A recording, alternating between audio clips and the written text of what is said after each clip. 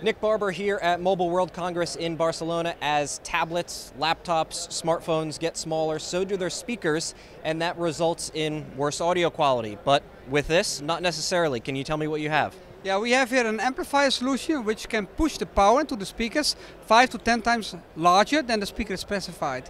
And with this solution we have a feedback mechanism which basically can control the speaker in such a way that we uh, can enhance the sound and increase the SPL significantly.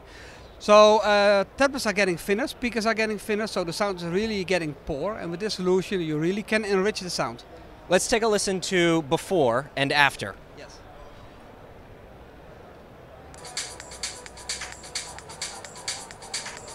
So this is before, and now we go after.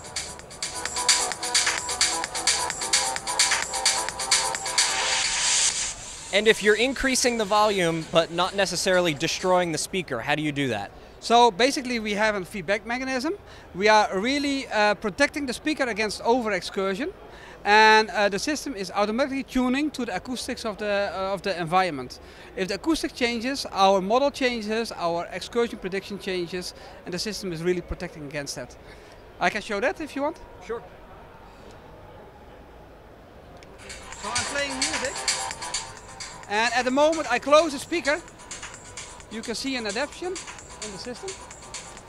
And this results in a changed behavior of the acoustics and also in our system. What we also can show you that our frequency response is automatically adapting to this change. So if I close it again, the frequency response is changing, automatically enhancing the performance of the system. And this is a second generation system and it's shipping on devices now, correct? It is a second generation system. The first generation is shipping and the second generation is close to be uh, shipped, yes. Okay, great. Here at Mobile World Congress in Barcelona, Nick Barber, IDG News Service.